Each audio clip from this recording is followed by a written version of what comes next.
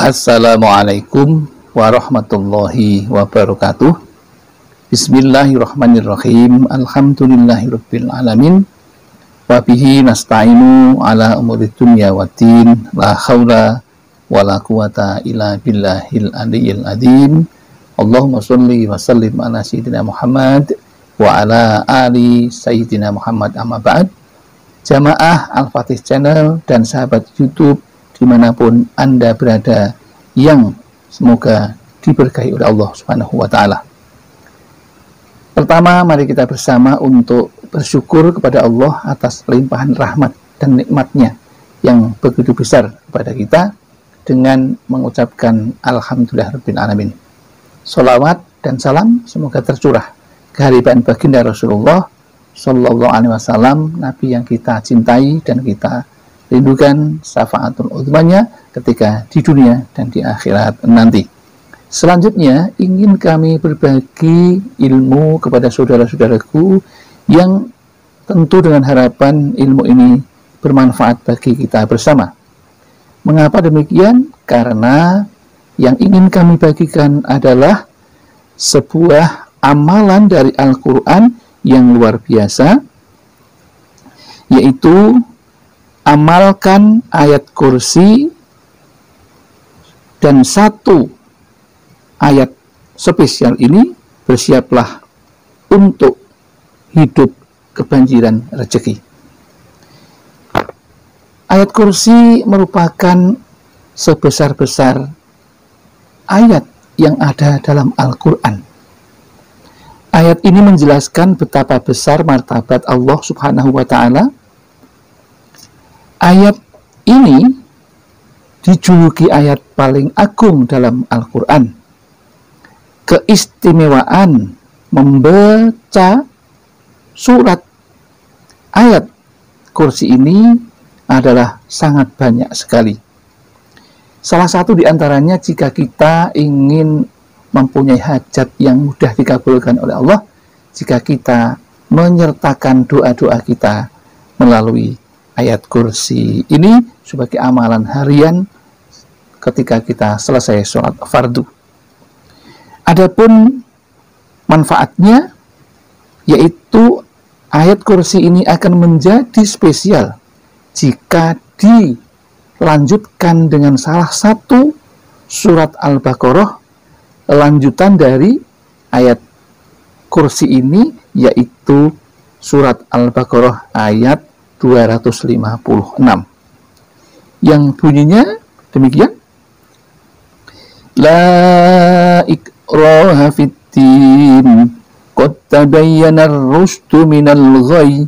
Faman yakfur bit taghut wa yu'min billahi faqad istamsaka bil urwatil wusqa lang fisama wallahu samiun alim.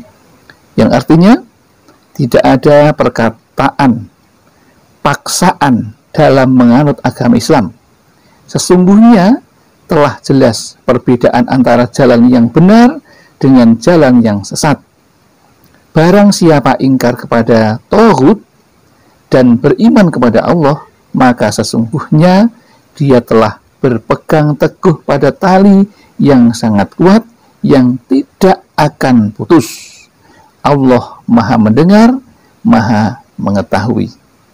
Itu kelanjutan dari ayat kursi yaitu ayat 256. Sementara ayat kursi adalah dari surat Al-Baqarah ayat 255. Jadi berurutan.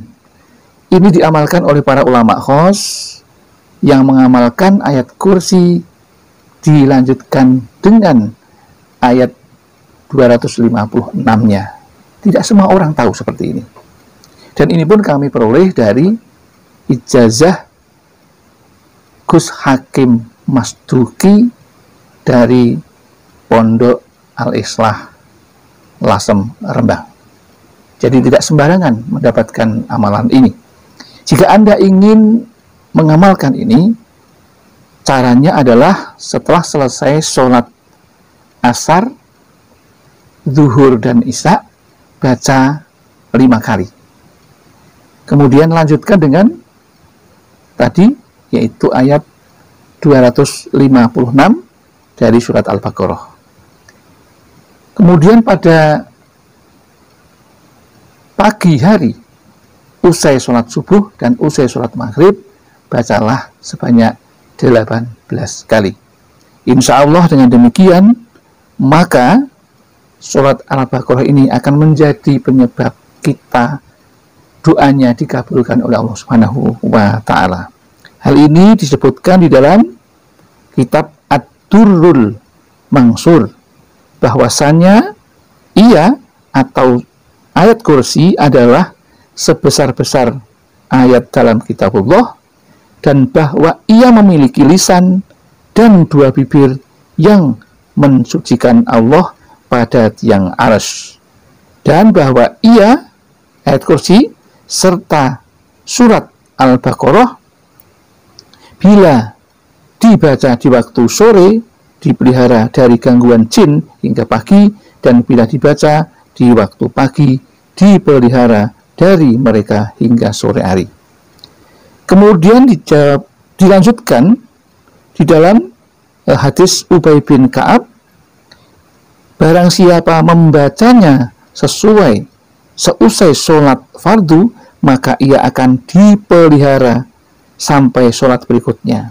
Dan tidaklah ia dibaca atas makanan atau lauk pauk, melainkan Allah akan menumbuhkan keberkatan makanan atau lauk pauk itu dan bahwa ia adalah berasal dari perbendaraan di bawah ars Allah Ta'ala.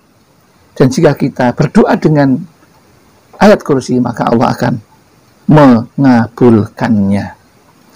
Jadi, lebih tegas lagi setelah selesai membaca ayat kursi ayo atau ayat 255 dari Al-Baqarah dilanjutkan dengan ayat 256 yaitu eh, yang sudah tadi kami sampaikan la ikraha sampai akhir ya demikian yang dapat kami sampaikan mudah-mudahan ada manfaatnya barangkali ada kesalahan kekhilafan kami mohon maaf yang seterusnya. Akhirul kalam billahi taufik wal hidayah wal inayah wal barakah. Assalamualaikum warahmatullahi wabarakatuh.